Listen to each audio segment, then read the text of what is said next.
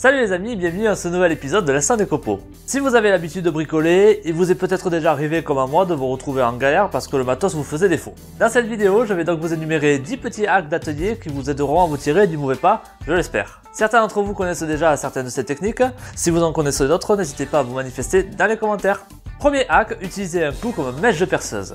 Qu'elle soit de bonne ou de mauvaise qualité, il arrive parfois de casser une mèche de perceuse, surtout quand elles sont de petit diamètre. Dans ce cas-là, vous pouvez utiliser un clou que vous accrocherez au mandrin de votre perceuse pour percer un trou avec.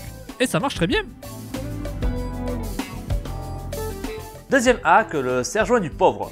Lorsque vous souhaitez coller deux pièces de bois entre elles mais que vous ne disposez pas de serre-joint assez long, vous pouvez utiliser par exemple une chute de contreplaqué pour vous confectionner un serre-joint de fortune.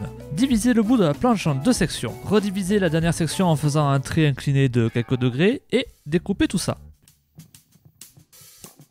Vissez ou clouez le bloc rectangulaire d'un côté de votre planche. Fixez également un des deux blocs en biais de l'autre côté, en laissant un dernier espace pour y intégrer la dernière pièce. Placez finalement vos pièces à coller et utilisez le dernier bloc qu'il vous reste pour serrer le tout à l'aide d'un marteau ou d'un maillet. Je ne le fais pas ici pour l'exemple, mais assurez-vous de protéger votre planche de la colle qui dégoulinera à l'aide d'un papier sulfurisé par exemple. Troisième hack, percez parfaitement à la verticale. Pour ce faire, utilisez un bloc de bois dont vous couperez à la scie une rainure bien droite et perpendiculaire. Quelle est votre mèche où vous souhaitez percer en vous appuyant contre votre petit guide? Celui-ci vous aidera à percer un trou parfaitement vertical si vous ne disposez pas d'une perceuse à colonne. Quatrième hack, percez parfaitement mais cette fois à l'horizontale.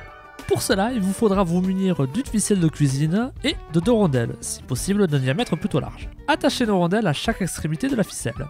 Enfilez ensuite votre mèche dans l'une des rondelles. Si celle-ci part en avant quand la mèche tourne, c'est que vous penchez trop en avant. A l'inverse, si la rondelle revient vers vous, c'est que vous penchez trop en arrière. Pour rester droit, faites en sorte que votre rondelle se maintienne au même endroit. Cinquième hack, créer sa propre pâte à bois. Alors là, rien de plus simple, il vous suffit simplement de mélanger de la colle à bois avec de la poussière que vous récupérerez par exemple dans votre ponceuse à bande. Mélangez bien le tout et vous obtiendrez ainsi une super pâte à bois. Sixième hack, toujours percer à la même profondeur. Là aussi, une astuce très utilisée par nos amis outre-Atlantique. Déterminez d'abord la profondeur à laquelle vous souhaitez percer et disposez sur votre mèche un scotch qui vous indiquera quand vous arrêtez. C'est simple, mais il fallait penser. Septième hack, fraiser le bois pour y enfoncer une tête de vis par exemple, sans utiliser de forêt fraisoir.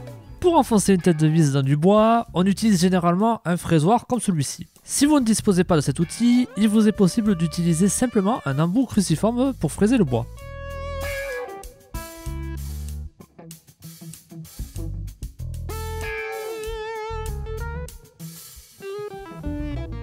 Huitième hack, récupérer la poussière de bois à l'aide d'un post-it. Prenez un post-it et collez-le sous l'endroit où vous souhaitez percer. Pliez-le en deux. La poussière et les débris tomberont ainsi dedans.